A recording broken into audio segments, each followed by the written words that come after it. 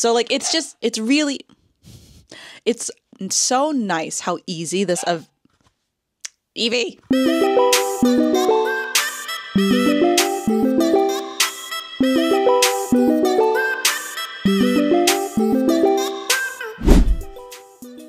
Wow.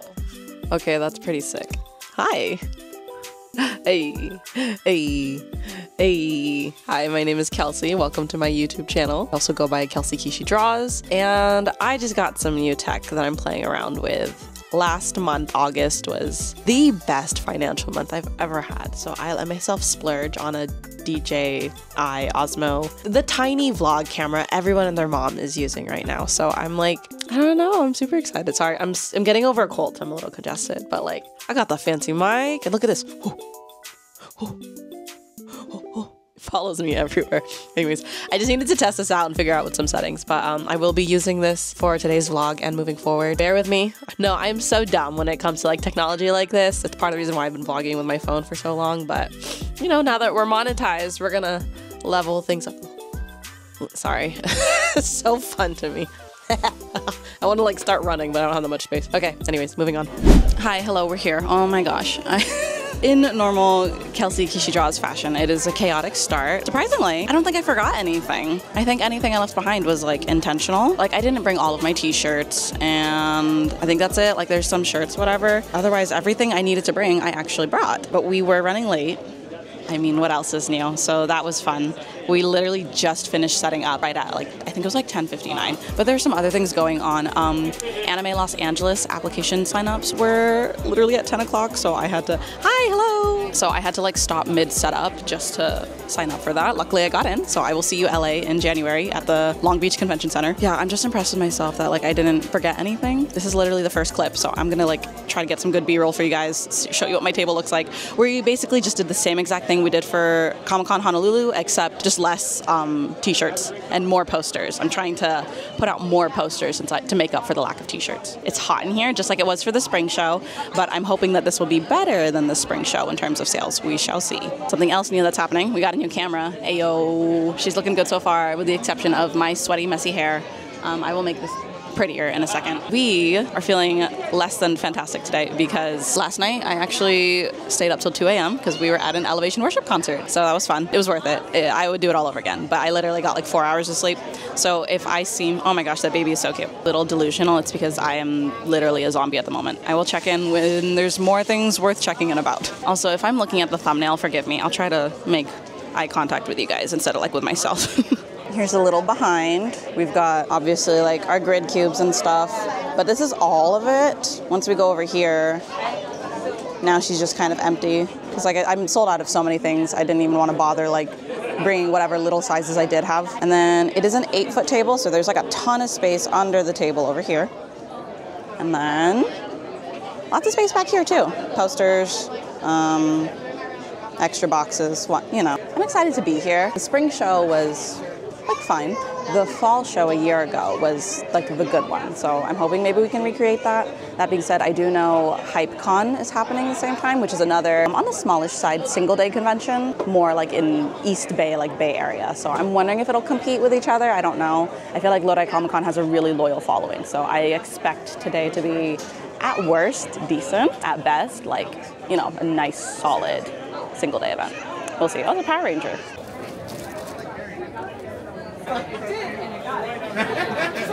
Part of Mazzy just came by and dropped off this because it's stupid hot in here. This is so cute. Mazzy, you're the best. I love you. So something cool I'm doing today is I've got some label stickers with my QR code on it. It's the same exact QR code that you'll find on the back of my business cards but it's in sticker form. And I'm going to be slapping these onto the bags. This way you're not going to forget me. Guys, this was a gift from Munbyn. They gave me a bunch of labels. I use this with their label printer. And the awesome thing is that you can make these QR codes in their app, which I think is amazing because typically I've had to do it like in Canva or you just find like a random third party.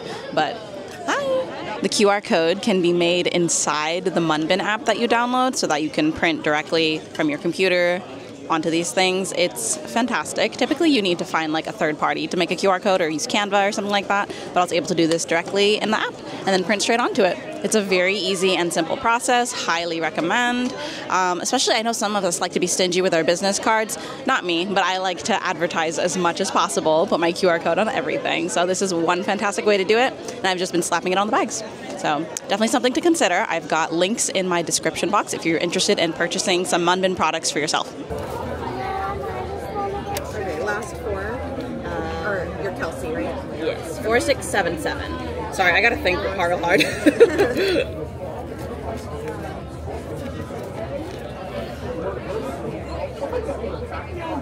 Okay. awesome. Got it. There you go. Thanks, guys.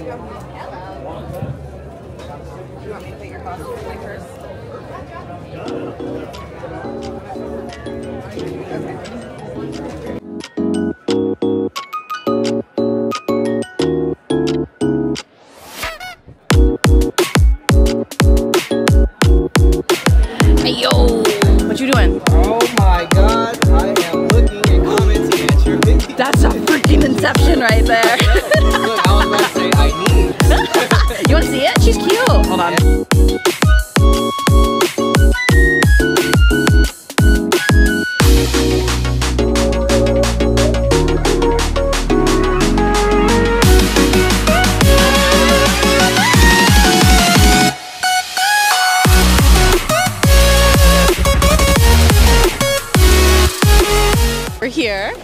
At Lodi Comic Con. It's looking pretty pretty good. It's hot. Oh my gosh, it's so freaking hot. But we got the wrestling going on under the pavilion. You can see lots of people having fun, shopping. Something I love about this convention is they got food trucks. We don't have to deal with sad, pathetic con food. And they do have um, mini donuts. I don't know if you can see in the background. I'm gonna get some. I'm always so surprised at how busy this convention is. I mean, right now there's like no one. I found an emptier spot, but like there's so many people. This is such a fun event. If you're a local to the Lodi area, I'm excited for today. We're already off to a pretty good start with sales, and it's nice and busy in there. It's just a little warm. I'm going to go around the rest of the convention because I've never explored this event. Every time I come with my dad, um, I'm glued to my table. So let's go see what else we can find.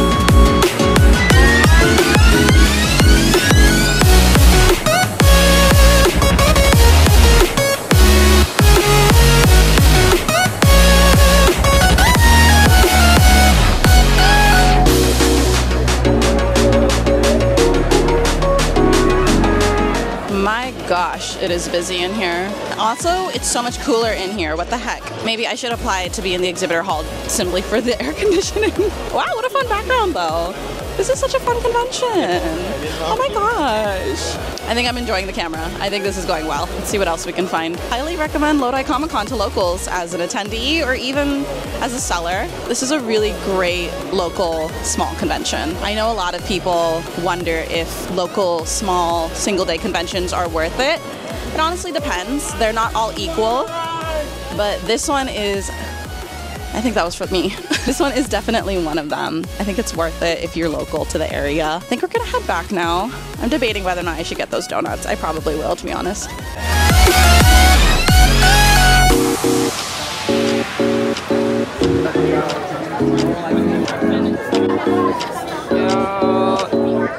Yay, thank you! So excited! While I was off playing, Cody said that he met a customer who found us because I don't know if I've mentioned this on here before, but a food truck I sold to once, they took my bag, they cut out the picture, and they put it in their napkin holder. And so this guy saw the napkin holder at the food truck in San Jose, and he's been looking for us ever since. So shout out to that food truck in San Jose. You're doing the Lord's work out here advertising for me. Thank you. to the kids who just came by and dropped these off for us. Thank you. You're so kind. So I'm noticing people aren't looking straight up, so they don't see my shirt. I'm wondering, and they're not selling. Making me kind of sad. Hopefully, people will buy them towards the end. Hello. Yeah, at the moment, sales are not bad, but they're definitely not what they've been in the past. Um, especially September 2023, the show was like, at the time, one of my better single day shows. So my hopes were kind of high, and it's not being met. That being said, still a good time, still profit, just not meeting expectations. I'm also just like wildly tired. Like I went through this coffee so fast. I typically don't finish my coffees, but I'm like so freaking tired. I just elevation worship was not a mistake, but how I feel is definitely a mistake right now. Please come and buy from me to make it all worth it. Slower convention means more time to talk. Look at this face tracking. it's been slower. We finally hit a certain mark that's like kind low key, kind of like my minimum. I've got like how much I like to make in a day where I'm satisfied, and then about half of that is like how much I'll tolerate for an event before I'm like losing my temper, I guess. And I'm that's where I am right now. We're making profit, but it's just like, girl, I am so tired. I was hoping to make more money than this. But at the same time, I'm just like, I'm just happy to make any money because we spent a lot this month. My gosh. This always happens whenever I have like my best financial month, which was August. It's always followed by like the most expensive months ever. I had to drop so much for different conventions, both Anime Pasadena and AWA in Atlanta. I had to drop so much money just for those. And then I dropped some more money today for Anime Los Angeles applications. So it's just been rougher. So I'll take any profit at this point even when it's not quite as much as I would like to make in a single day. It's fine. Sometimes I think I'm too much of an overachiever and I need to be okay with just achieving and not overachieving every time. Let's recap Anime Los Angeles. So I was fortunate enough to catch a booth. Me and my, my neighbor actually, we were both we both stopped during setup this morning just to apply and we both got in. But I heard applications ended at about seven minutes in. I don't think people were expecting it to go that fast. And there's so oh my gosh, there's so much tea going around right now. So many people disappointed or angry, even accusing ALA of opening it too early for certain people, which they're saying is not the case on their Instagram. So all we can do is go by what they say. During these slower moments, I'm doing some research on hotels in the Long Beach area. I might have found one, but if anyone has any recommendations, feel free to drop them in the comments. Oh, look who's made his way here. Hello. He was just texting me about the wrestling matches that they have here. What do you think about the wrestling? Mm, boring. What? I thought you said you liked it. I Thought it was funny. Oh, I love the wrestling matches here. I think they're great. I'm going to do a little bit more research into hotels and keep you guys updated. Honestly, there's there's not too much to update on. It's fine. Quick overview on how things are selling. Bestseller by far has been our mystery bags. My gosh, I the box I brought over here was full. It's all empty. This is all that I have left here. I thought this was going to be enough for the next event too. I'm going to have to make a ton more. Yeah. Lodi Comic Con likes their mystery bags. We're in the last 30 minutes. She's dead, dead. Typically, the last hour of Lodi Comic Con is just their like cosplay costume contest. So Artist Alley is gonna be a wasteland. A wasteland? What am I thinking? It's gonna be a desert. It's gonna be empty, is what I'm trying to say.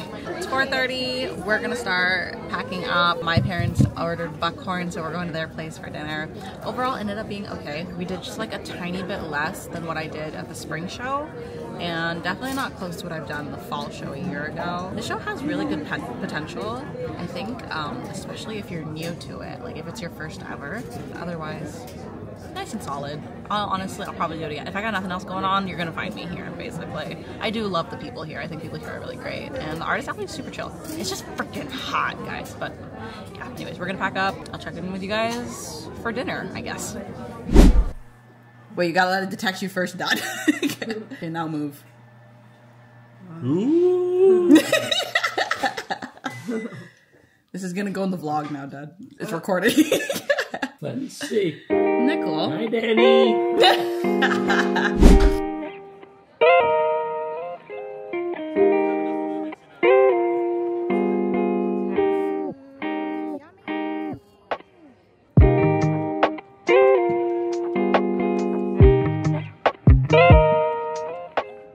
Hello, and welcome to the recap and review portion of the video where we recap and review the event Lodi Comic Con Fall 2024. Typically, you're gonna find me like in my living room for this portion, but quite frankly, I don't have too much more to say than what I've already said in the video, so we're just gonna do it right here while I'm editing. Lodi Comic Con is a single day event hosted by the same people who do the Stockton Con events, and in total, these events meet four times a year. You've got Stockton Con Winter and Summer, and those events are two days. Then you've got Lodi Comic Con Spring and Fall, and those ones are single day. These events do tend to be on the smaller side, but they have a very loyal following, and there is a lot of overlap in audience between the SacAnime shows and the Stockton and Lodi con shows. Despite being on the smaller side, I have found success at this particular event. Stockton Con a little bit less so, although I am curious to try the winter show eventually. But the Lodi Comic Con shows have always been at best, a really great single day event, and at worst, solid. I've done this event a total of three times now Lodi Comic Con Fall in 2023, and then both of their shows in 2024. And the fall show, I made a number that at the time was the most I'd ever done at a single day event because I had just introduced apparel around that time. Now, that is about minimum of what I would like to make in a single day. And since coming back to Lodi Comic Con, I haven't quite reached that number again.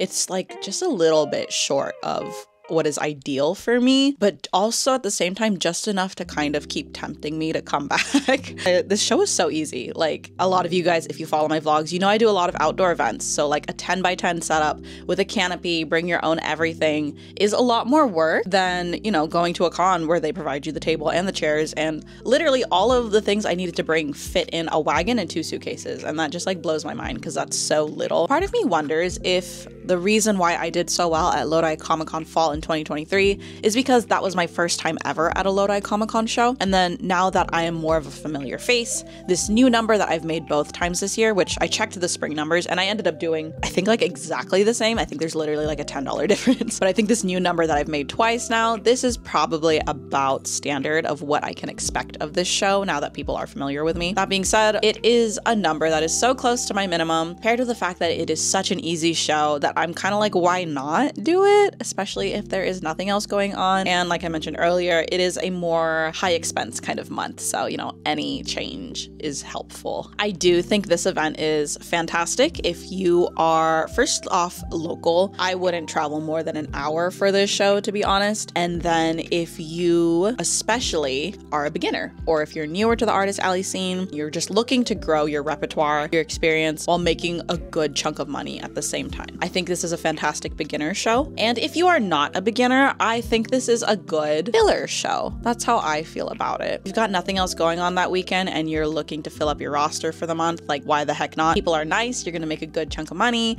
and you're gonna have a good time doing it. So overall, I would rate this event. Now that I've done it three times, when I first did it, I gave it like five out of five. I thought it was perfect. Came back in the spring, was a little disappointed. Now I'm starting to realize what I can actually expect from this show. I would give it a solid like 3.9 out of 5. I don't typically dabble in the point numbers, but I, I don't feel like it's like a 4 out of 5 because it's just like that's just a tiny bit too much. So we're to go 3.9 because 3 out of 5 also feels a little too low. It's um just enough to keep tempting me to come back but it's never gonna like blow away my expectations. At least I don't think it will. But yeah, still really great. I am curious to try the Stockton Con Winter Show. It does overlap with some other conventions that I'm interested in though. So make sure that you're following me on my social media platforms and my YouTube to know my schedules. I do include all of my in-person events in a link in the description box if you're curious and shopping with me in person. As I'm filming this, it is the last day of September and we are officially moving into October and really the last quarter of the year, which tends to be a little hectic in the best ways possible for us businesses. So a couple things you can expect from me in the next coming months are a few Filipino festival event in honor of Filipino American History Month, a few local conventions, including events like Anime Impulse Bay Area, a few not so local conventions,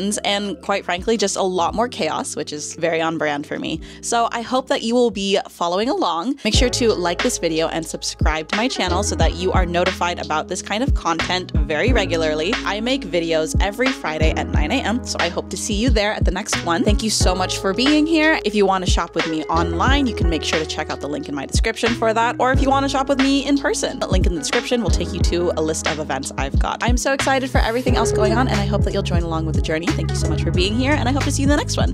Bye! I don't know where this ruler came from. I've literally never seen it before in my life. I've never seen Cody use it before in his life. So it's one of two things. Either he has like a secret ruler stash, or I'm hallucinating this and there's not really a ruler in my hands.